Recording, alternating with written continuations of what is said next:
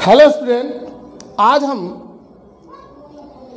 KJ knowledge hub के YouTube channel पर आपका स्वागत है। आज हम भारत के क्षेत्रफल की दृष्टि से तेईसवें बड़े राज्य मणिपुर के बारे में अध्ययन करेंगे। तो अध्ययन के पहले जो है, हम कंप्यूटर महोदय से कहेंगे कि कंप्यूटर महोदय, आप मणिपुर के मानचित्र को यहाँ प्रस्तुत करें।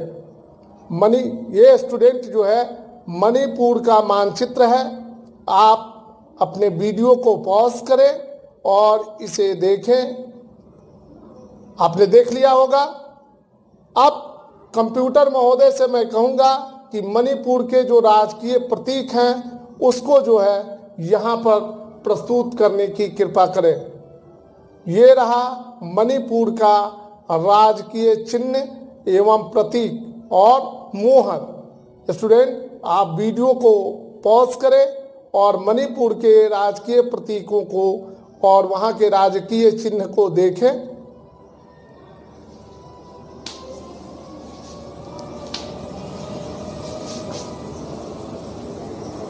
हेलो स्टूडेंट तो अभी हमने, हम लोगों ने मणिपुर के मानचित्र को देखा और मणिपुर के राजकीय प्रतीक को देखा, मणिपुर के राजकीय मोहर को देखा तो अब हम देखते हैं मणिपुर से संबंधित कुछ महत्वपूर्ण जानकारियाँ, जो आपको परीक्षा में जितने भी प्रतियोगी परीक्षाएँ होती हैं, या राज्य स्तर की हो, या केंद्रीय स्तर की हो, उसमें आपके लिए ये बहुत ही लाभकारी है।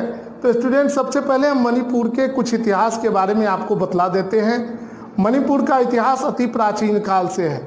महाभारत काल में आपको पता होगा कि अर्जुन की पत्नी जो थी चित्रांगदा उनका मायके जो था मणिपुर में ही था, अर्जुन ने चित्रांगदा के साथ विवाह किया था। तो मणिपुर जो है, ऐतिहासिक दृष्टिकोण से भी काफ़ी महत्वपूर्ण स्थान रखता है। ये क्षेत्रफल की दृष्टि से भारत का तेईसवां बड़ा राज्य है। राज्य का नाम है मणिपुर।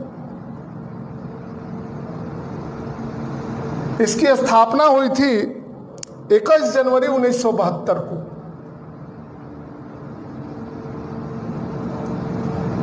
जब मणिपुर के चौहद्दी पर हम विचार करते हैं तो पाते हैं कि इसके उत्तर में नागालैंड है।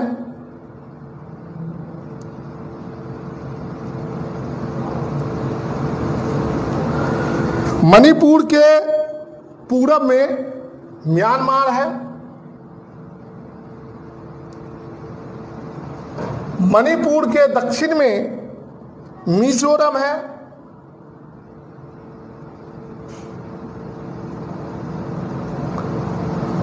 और पश्चिम में असम और मिजोरम है। असम और मिजोरम।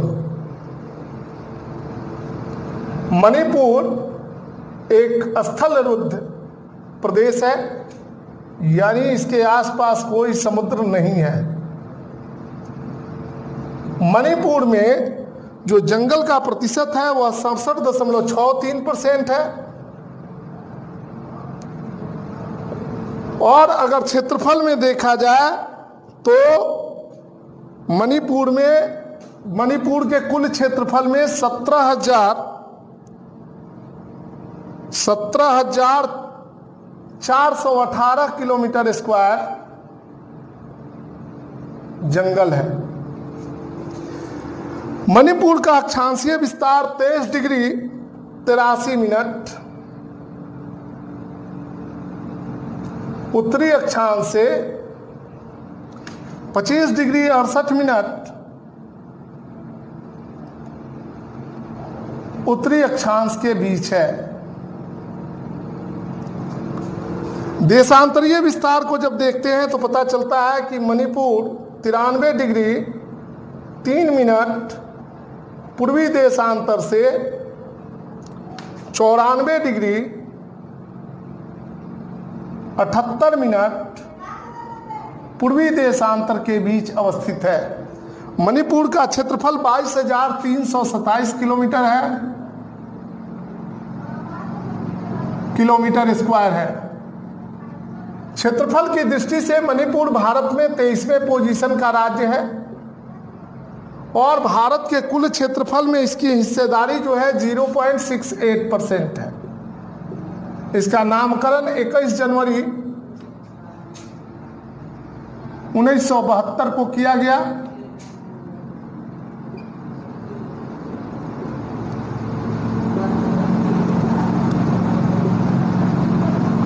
यहाँ की प्रमुख नदियाँ हैं बराक,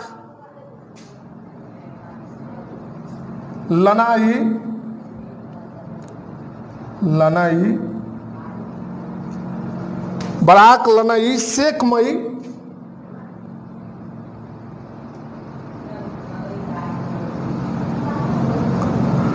यू नदी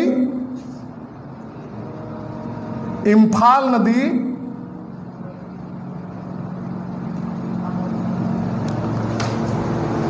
चकपी इत्यादि यहाँ की प्रमुख नदियाँ हैं मणिपुर की सबसे लंबी नदी का नाम है बराक। मणिपुर के प्रमुख पर्वत जो है, मणिपुर की पहाड़ियाँ हैं।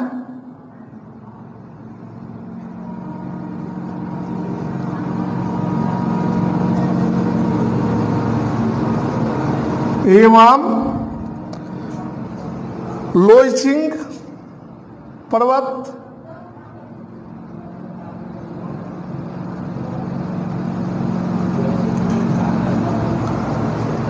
नोन गामी चिंग।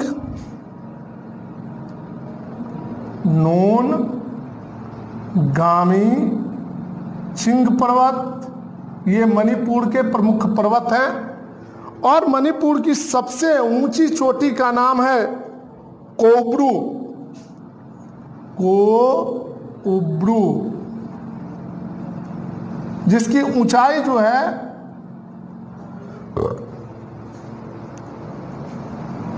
पच्चीस सौ बासठ मीटर है। तो स्टूडेंट, आज हम लोगों ने मणिपुर से संबंधित कुछ महत्वपूर्ण जानकारियों को देखा। आप वीडियो को पॉज करें, इसे नोट करें।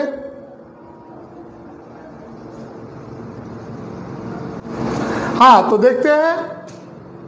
मणिपुर से संबंधित जो अगली अगली जानकारी है, उसको देखते हैं।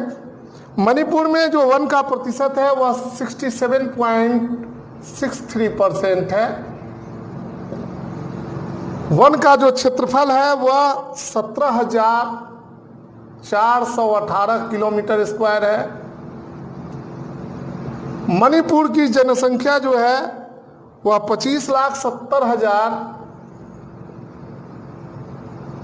पच्चीस लाख सत्तर हज़ार तीन सौ नब्बे है। जनसंख्या की दृष्टि से मणिपुर का जो भारत में स्थान है, वह तेईसवा है। और भारत के कुल जनसंख्या में इसकी हिस्सेदारी जो है 0.21 परसेंट है। मणिपुर का जनसंख्या घनत्व जो है, वह 130 व्यक्ति प्रति किलोमीटर स्क्वायर है।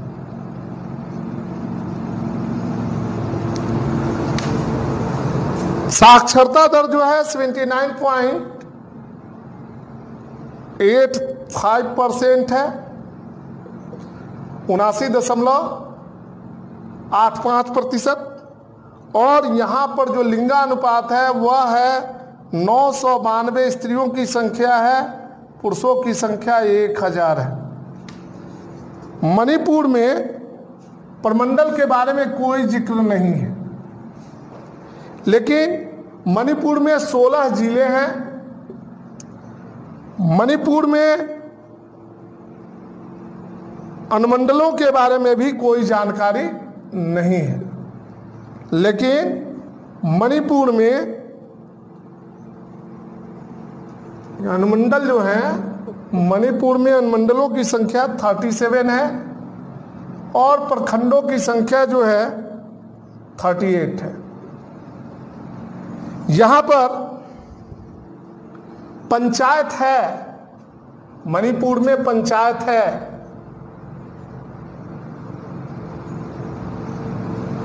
पंचायत।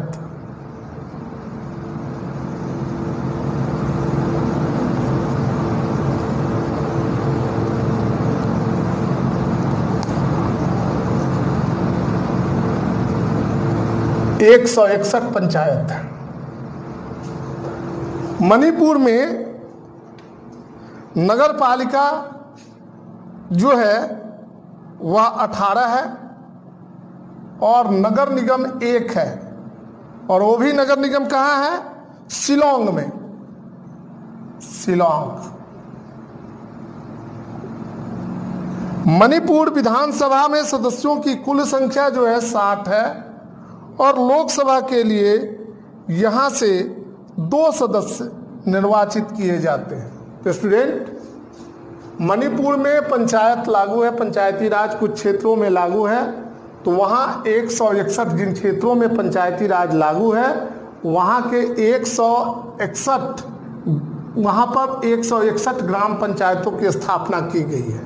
वन का प्रतिशत सड़सठ दशमलव छः तीन परसेंट, जो क्षेत्रफल बनता है सत्रह हज़ार चार सौ अट्ठारह किलोमीटर स्क्वायर।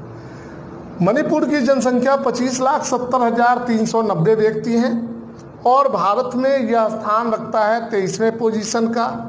भारत के कुल क्षेत्रफल में जनसंख्या के कुल हिस्सेदारी जो है मणिपुर की ज़ीरो दशमलव दो एक परसेंट है। इसका जनसंख्या घनत्व 130 व्यक्ति प्रति किलोमीटर स्क्वायर है और यहाँ के लोग लगभग 80 परसेंट लोग साक्षर हैं। यहाँ नौ सौ बानवे स्त्रियों की संख्या और पुरुषों की संख्या एक हज़ार है।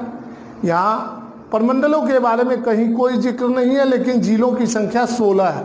अनुमंडल सैंतीस है, प्रखंड अड़तीस है। नगर निगम एक है, जो शिलोंग में स्थापित है। नगर पालिका अठारह है। विधानसभा सदस्यों की संख्या साठ है और लोकसभा सदस्यों की संख्या जो है, यहाँ से दो सदस्य जो हैं लोकसभा के लिए चुने जाते हैं पूर्वी मणिपुर से और पश्चिमी मणिपुर से। तो आप इसको पहुँच करके, वीडियो को पहुँच करके इसे नोट करें। अब हम लोग आगे चलते हैं मणिपुर के बारे में, आगे जानकारी, महत्वपूर्ण जानकारी। हाँ तो स्टूडेंट, अब हम थर्टीन, टू नंबर क्वेश्चन को देखते हैं। ये मणिपुर से संबंधित जो है, प्रश्न है, मणिपुर से राज्यसभा के कितने सदस्य चुने जाते हैं? तो मणिपुर से राज्यसभा के लिए एक सदस्य चुने जाते हैं। मणिपुर के राज्यपाल हैं Shrimati नेजमा Heptulla. नेजमा Heptulla.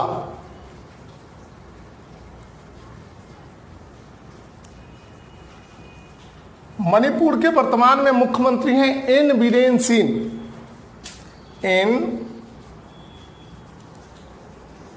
Biren Singh hi student हमने मणिपुर राज्य के नगर पालिका के बारे में, नगर निगम के बारे में गलती से शिलोंग उत्तर दे दिया था। मणिपुर में जो नगर निगम है, उसका नाम है इम्फाल। नगर निगम एक है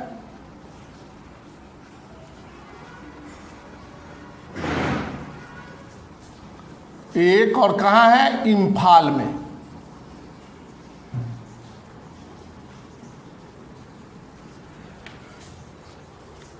मणिपुर विधानसभा के अध्यक्ष हैं खेमचंद सिंह। वाई खेमचंद सिंह? वाई खेमचंद सिंह। मणिपुर उच्च न्यायालय की स्थापना 25 मार्च 2013 को हुई थी। मार्च 2013 मणिपुर उच्च न्यायालय का मुख्यालय इम्फाल में है और इस उच्च न्यायालय में न्यायाधीशों की कुल संख्या चार है, जिसमें एक जो है मुख्य न्यायाधीश और तीन अन्य न्यायाधीश हैं। मणिपुर उच्च न्यायालय के वर्तमान में जो मुख्य न्यायाधीश है, उनका नाम है रामलिंगम रामलिंगम सुधाकर। राम लिंगम सुधाकर।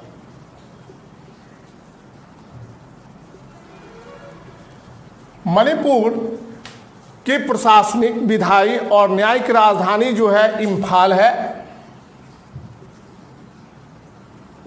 मतलब एडमिनिस्ट्रेटिव कैपिटल भी इम्फाल है लेजिस्लेटिव कैपिटल भी इम्फाल है और जुडिशियरी कैपिटल भी जुडिशियल कैपिटल भी इम्फाल है। मणिपुर की आधिकारिक भाषा मणिपुरी है। ये संविधान की आठवीं अनुसूची में शामिल है और आज की भाषा भी मणिपुरी है।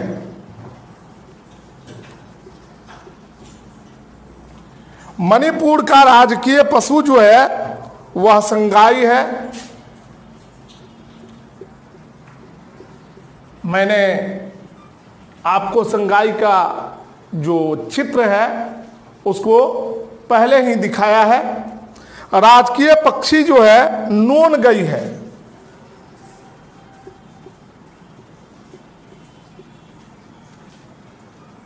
मणिपुर का राजकीय फूल जो है, सिरोई लिली है।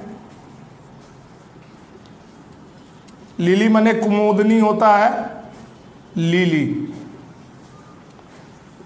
और मणिपुर का राजकीय वृक्ष जो है, उनिंग थोउ है। उनिंग थोउ। मणिपुर का राजकीय फल जो है, अनानास है पाइन एप्पल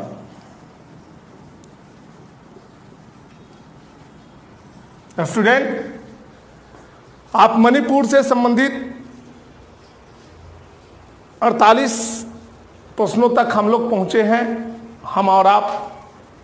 अब इसके आगे वाले प्रश्न को हम लोग देखते हैं, इसको देखने के पहले जो है, आप वीडियो को पॉज करें और इसे नोट करें।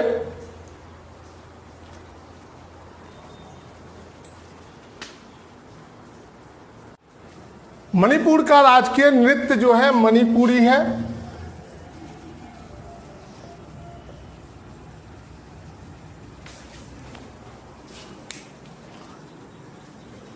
मणिपुरी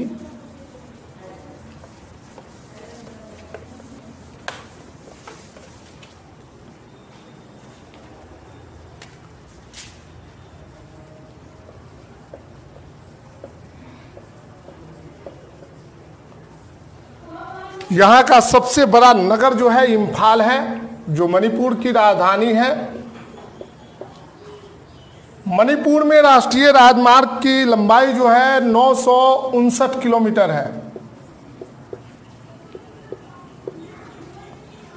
मणिपुर में रेल लाइन की लंबाई 111 किलोमीटर है।